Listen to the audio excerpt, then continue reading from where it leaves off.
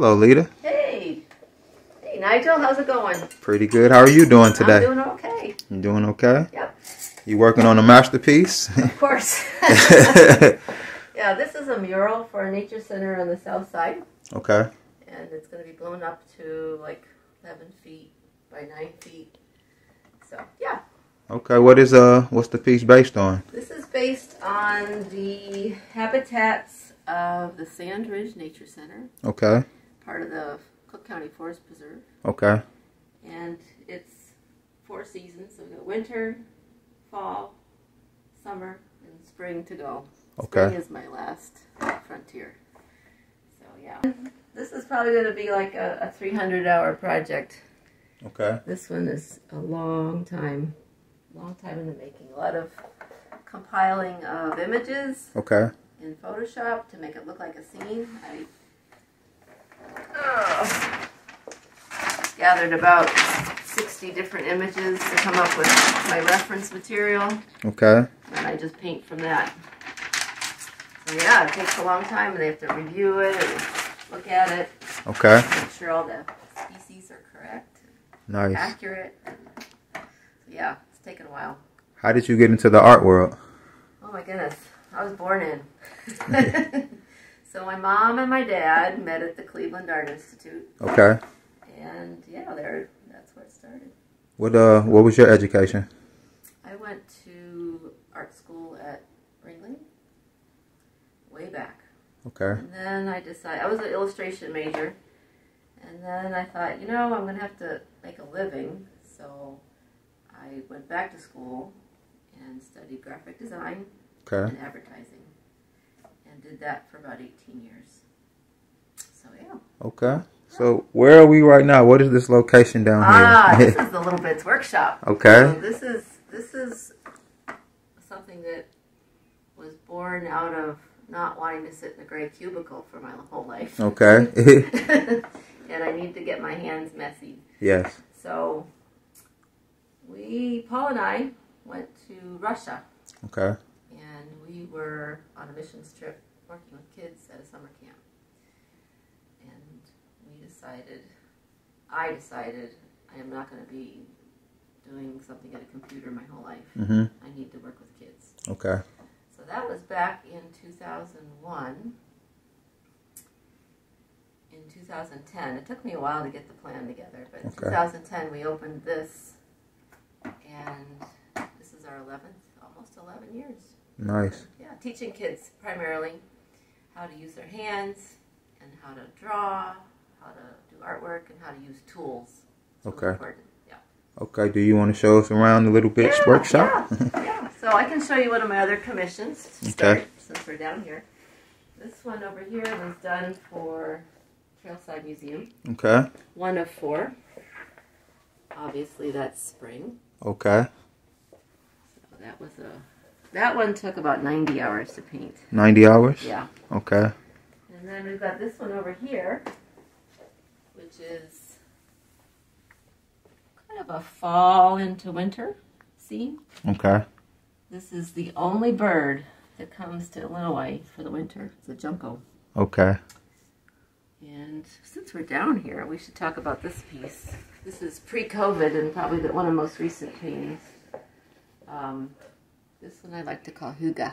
Hygge. Hygge! Hygge. this is all about community, coziness, being out in nature,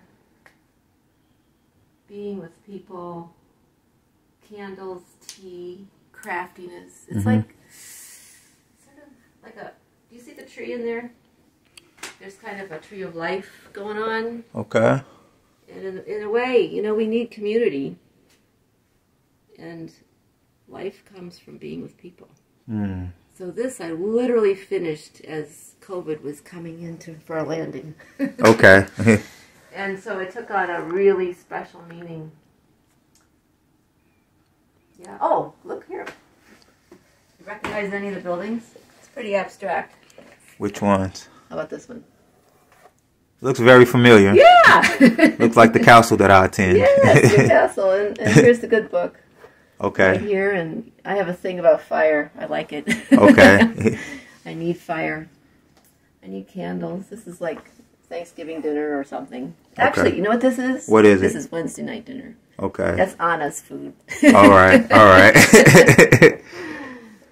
so you like to paint with a lot of colors? Yes, yeah. This is me cutting loose from this stuff. This is this takes a lot of focus and concentration, and this is like cut loose and just do it from the mind and not reference material. Okay. How is art therapeutic for you?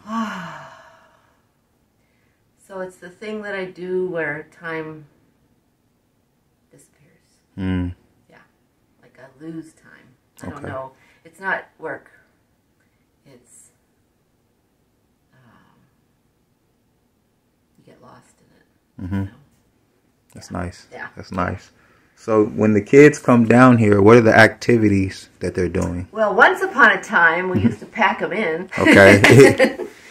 um, right now, it's like a pile of stuff. However, we do have an outside workshop now. Okay. Um, the activities that we do are a lot of sewing, a lot of knitting, uh, drawing, painting, learning how to use hammers and nails and screwdrivers and um, saws Okay. and how to whittle.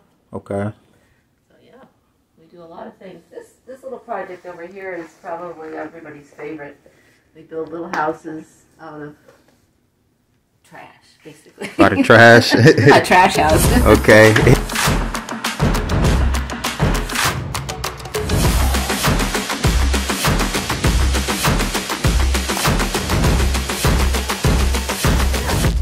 So, do you have any other artworks? Oh my goodness.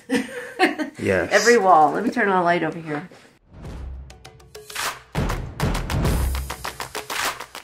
Um, early 90s, I did a lot of work for Chicago Wilderness Mhm. magazine, and I art directed it. Okay. So I've done so many birds, so many birds. Mm. And because I did a lot of work for Chicago Wilderness, um, people in that arena contacted me to do more. So I've done a lot of nature. Okay. And I love it. I love it. What does it feel like to work on things that you love the most rather than just doing a job just to get by? Um, I think work is very pleasurable if you enjoy it. It doesn't seem like work. So it's fun to get paid for something you enjoy to do. Yes. Yes. I got a lot of teenagers that would love to get paid to play video games. Yes. There's a place for that. yes, it is. Yes, it is. Yeah. So these are pieces that you put together on commission. Mm-hmm. Okay. Yeah, this was, um, these two pieces were done for the local chapter of Audubon. And they did an annual part every year. Okay. That was their annual report painting. Okay. So, yeah. What was it like in art school? You know, art school is just a launching pad. I don't actually think I learned much. Okay. I learned how to learn, Okay. and I learned how to um, be resourceful.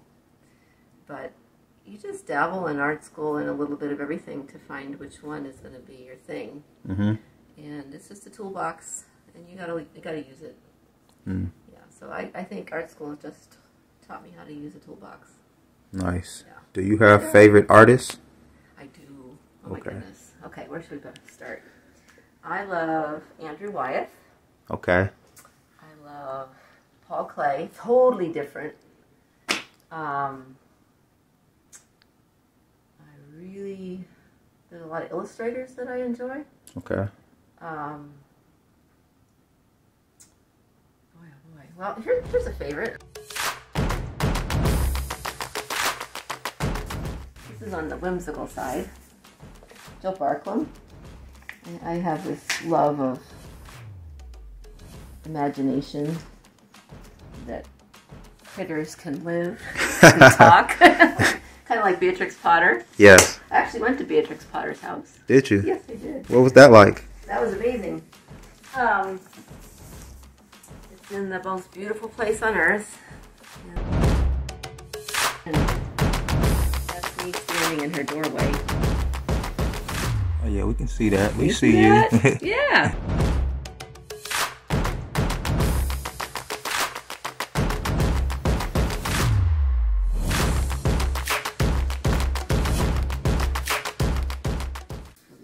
What do you like to draw the most? Too hard, Nigel. I can't decide. Okay. um, I'm in this rut of doing nature stuff. You know, I, I end up doing a lot of animals and birds. I love collage. There's a little collage that I did. Nice. Yeah. But um, I, I can't decide on that one. Okay. Yeah, I love doing the nature stuff, but then I got to cut loose and go the other way and do abstract or geometric. So I'll, I'll give you two of that. Okay.